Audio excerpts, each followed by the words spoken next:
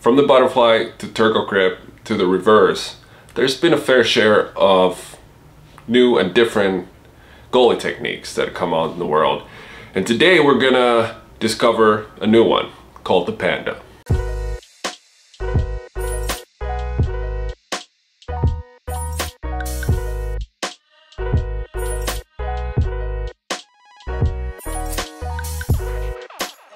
So I want to quickly talk about the Panda and try to explain it and what I've learned about it so far. So it's pretty much uh, overlap technique with a reverse technique. So you're doing a reverse with an overlap. So you're not on the post, so it's kind of different. Um, one big key factor on it is that you're gonna be flat. You won't be square to the shooter on the dead angles. So the whole idea is you're flat, you're doing a reverse, and the pucks are gonna hit you and stay on the stream side. And if there is a pass, you're already kind of flat. So you're easier to turn and push other than having this turn around and then make a push. So yeah, it's it's new, it's different. Had a chance to work on it at the Global Goaltending Retreat in Breckenridge, Colorado, hosted by the Goalie Guild and the big man himself, Brian Daccord uh, from Stop It Goaltending. Was the guy explaining it all and did a great presentation on the ice of what it is and kind of got to work through that stuff. So I'm not going to try to explain it more than that, so I'm going to throw it over to Brian and hope you guys enjoy his little segment and learn something new. So Mike Smith is in net. Auston Matthews is coming down the wing. He's going to be on his post, right? He's on his post. Auston Matthews takes one step over this imaginary line. What's he going to do? He's going to drop into his offense. Automatic. He'll do that a hundred times out of a hundred times. I got a whole freaking bunch of clips on Auston Matthews on him scoring off goalies right after the transition line. So when I'm teaching goal scoring, you don't even look at the net. You come down that wing, you take one step over that transition line, and you take a shot. Now there was a point. He knows it so well. Like if he comes around that, let's say that first stick over there, he'll just shoot it or he'll pass it. Vasilevskiy transitioning as he passes the puck, right? Whereas transitioning as he passes the puck. Or if he comes lower, he recognizes the goal is still going to be on his feet and he's going to transition once he goes through that little hole right there. So we had a string goals in the NHL with pucks going over guys' ears. Remember that? It was like one week, it was like almost every day. So there was an article in InGoal it was called, they introduced a move called the Panda. Anybody familiar with the Panda? The Panda's taken a bunch of different techniques and putting them all into one. So you've got an overlap, right? You've got an under square or an RVH. So what's going to happen in, in a Panda is instead of squaring up, think two ask and you're flat. So as the guy goes down the lane here, and he's driving up, you're not going to the RVH, you're going to be flat. On the release of the shot, you're actually going to use an RVH without going into your post. The whole key to this is there's no angle left for this guy to shoot. He's got this much room to shoot, and all you've got to carry, cover. If you're in an overlap on this, He's got off pad. You got rebounds. Your shoulders are here. He makes a play. Now you've got to rotate the plan. So think about it this way. If you're in a panda, you're not automatically going to go to an RVH. Every time you go to an RVH, Steve Briere would say you use a chip. You use the chip off your hip, right? You keep on cashing those chips in, eventually you're going to have your surgery. So it eliminates just going down, up, down, up. So now, I'm flat, now I keep your ass. I'm staying on my feet, I'm just not going down and up. Now when the shot comes, I'm in each position. This skate, this pad, you don't even see it. If he's going to miss the net here, that's going to the corner, gone. Right? What I'm not gonna do is I'm not gonna put myself in a position to give a rebound action. So now it goes deep in the corner, and in that overlap, underscore, RVH, pad protected, I'm covering only what I have to cover. So now think about this. Play goes behind the net, and you're in overlap. You have to rotate, plant, push. What's going to happen on a wraparound, we always think, you may not get a shot here, we always think a guy tucks the puck in. No, what happened? It goes banked off your skate.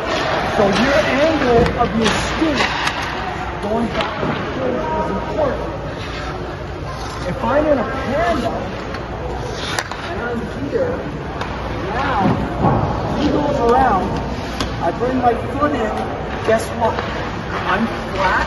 I don't have a big rotation to go back, and it's an easy push where I'm going laterally as opposed to back diagonal. So, what we're going to do, we're going to take shot. I'll tell you one other thing. You're going to do it another stage. Grab a puck to the corner and walk out. So here's another use of a pen that you're going to do another stage. He's going to walk out this way. We used to teach, my company used to teach this. Now we teach this. All we do is what we call a side step. I'm here, side step, I'm done. I'm not doing this anymore. The idea is, if he walks out, I'm here, he's gonna shoot. I'm in a panda, no rebound, no back leg exposed. Where's the rebound gonna go? Everything stays to the strong side. Thoughts? Yeah, when you start flattening out, like you track it down square on Yeah. Matthews coming down, he hits Yeah, that line. here, then you start flattening out. So you can use a glide drift. Bazzi is going to use his chops.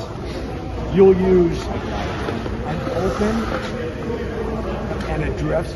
So that doesn't matter what technique you're going to use. What really matters is once he hits that transition line, there's no more net to shoot at.